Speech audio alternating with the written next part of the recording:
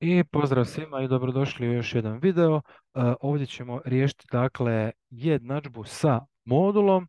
E, zadatak je iz 2018. E, jesenski rok i glasi koliko rješenja ima jednadžba, ova tu, ako je m veći od nule. Dakle, prepišemo ovu jednadžbu s modulom. Dakle, imamo modul, unutar modula je ponovno modul 2x minus 3 minus m. Zatvorimo modul, to je vanjski, je jednako m.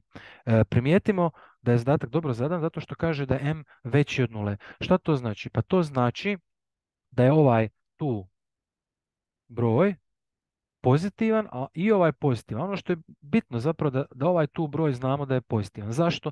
Pa zato sjetimo se da modul kao takav jedino što može dati je e, pozitivan broj. Dakle, uh, ukoliko je, na primjer, da je pisalo da je m manji od nule, a ne veći od nule kao što piše u zadatku, onda ovaj zadatak ne bi imao smisla. Zašto? Pa zato što, na primjer, ako ovdje piše minus 7, to je nemoguće. Zato što modul od bilo kojeg broja ne može dati negativan broj. Tako da je zadatak bio zadan kao m manji od nule, bio bi odmah gotov zato što ne bi imalo rješenja, no međutim ako je m veći od nule, to hoće reći samo da zadatak ima smisla, zato što modul uvijek daje pozitivan broj. Idemo sad riješiti ovaj zadatak, dakle rješavamo ga normalno kao svaku jednadžbu s modulom, zato što znamo da je s desne strane pozitivan broj, nemamo nikakvih problema. Pa da je lakše razmišljati, dakle, zamislimo da ovdje broj 7, jer to je sigurno pozitivan broj. Onda se pitamo kakav broj moramo upisati ovdje unutar modula da bi njegov modul dao ovih 7. Pa mislim da je sasvim jasno da unutar modula morate upisati 7 jer je modul od 7 7 ili minus 7 jer je modul od minus 7 jednako 7. Kad to prevedemo u m, to onda hoće reći da ovaj izraz cijeli unutar modula, vidite ovaj što sam zaokružio plavo, mora biti jednako ili m ili, ili minus m. Okay? Znači čista analogija. m je uvijek pozitivan broj, ja sam uzeo e, da je lakše razmišljati da je to broj 7. Dakle, ponavljam šta to znači. Znači da sve ovo što je unutar modula je jednako ili tom m ili minus m. Pa to i zapišimo. Dakle, sve unutar modula, to je dva, ovoga velikog modula, to je modul od 2x e, minus 3 minus m, je ili jednako m, ili sve ovo unutar modula je jednako minus m. Odlično. Okay?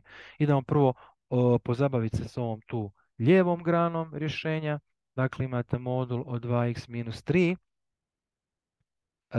će biti jednako, tako 2 minus m prebacimo desno, m plus m je 2m. I sad opet ista analogija kao u početnom dijelu. Okay? m je pozitivan broj, pa naravno da je i 2, e, dva puta m pozitivan broj. Dakle, nemam nikakvih problema. Jel? Znači, ovo je isto pozitivno. Onda možemo analogiju istu kao i sa 7. Znači ako m bio 7 ovdje, razmišljali smo na taj način, onda ovdje je zapravo 2 puta 7 i gledamo kao 14. Kao da je broj 14. Bilo koji pozitivan broj. Okay? Što znači da je ovo unutar modula ili 14, pa je modul od 14 14, ili ovo unutar modula minus 14, pa je modul minus 14 također 14. Dakle, istom analogijom samo umjesto, umjesto 14 gledamo 2m. Dakle, ponovno dvije grane, kažemo da je 2x minus 3 ovo unutar modula ili jednako 2m, to nije 14, ili 2x minus 3 ovo unutar modula jednako minus 2m. Imamo dvije linearne jednadžbe, obične, riješimo svaku posebno i to je to. E, dakle, prebacimo minus 3 desno, to je 2m plus 3, sve podijelimo sa 2 i dobijemo prvo rješenje 2m plus 3 kroz 2. To je prvo rješenje i to je zapravo uh, skroz legitimno. Zašto? Pa zato što m bilo kakav pozitivan broj, kad vi ovdje stavite m bilo koji pozitivan broj, dva puta taj pozitivan broj plus 3 kroz 2 je neki broj i to je ok. Istu stvar napravimo s ovom drugom uh, linarnom jednadžbom, prebacimo minus 3 desno, podijelimo sa 2 i dobijemo uh, minus 2m plus 3 kroz 2. Ovo je naše e, drugo rješenje koje ovisi o m. m je pozitivan broj, nemamo ponovo nikakvih problema, sve je tu ok. Imamo ovu, e, imamo ovu ovdje granu da riješimo, to možemo tu. Primijetite kad m dođe na drugu stranu, minus m plus m je nula, dakle možemo i slobodno pokratiti. Imamo da je 2x minus 3 u modulu jednako nula. Ovdje je još puno lakše na neki način zato što ne trebamo razmišljati o ovome tu m-u, jer on pozitivan, negativan, kakav je, ovo je, ovo je nula.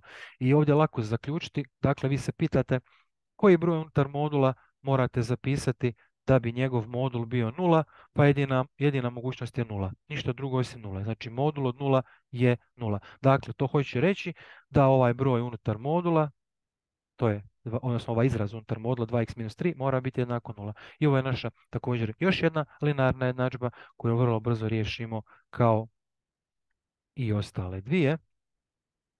I dobijemo da x tri polovine. Ovo je baš točno konkretno rješenje. Vidite, ova dva rješenja su ovise, ovise o m-u.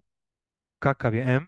Ako je m bilo koji broj kojeg može zamisliti pozitivan, jel, uvrstite, to će dati ovdje rješenje, ovdje rješenje. A ovo je baš fiksno, stoji na jednom mjestu, to je tri polovine. I nas je pitalo koliko rješenja ima jednadžba, ova tu, ako je m veći od nule, pa evo, ako je m veći od nule, na primjer ako je to bio broj 7, imat ćemo tri rješenja. Prvo, drugo, treće.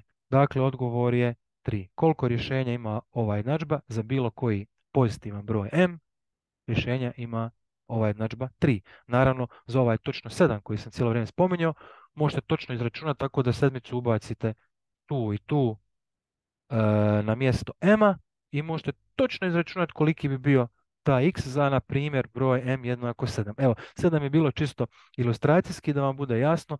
Naš odgovor na maturi za ovaj izdatak je da imamo tri rješenja. Evo ga, nadam se da je sve jasno. Ja vas pozdravljam do idućeg druženja. Lijep pozdrav!